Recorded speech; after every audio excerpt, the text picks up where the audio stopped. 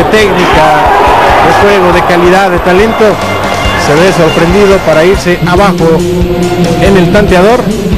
Insisto, qué bien, qué bien jugó Brasil en esta oportunidad. Cuando te tocan de primera desequilibran a cualquier defensa, quedan fuera de posición varios. Fíjate cómo recorre Briseño. Y a la hora que se la toca de primera Abner, lo deja fuera de posición, recibe solo y una gran media vuelta de Vinicius.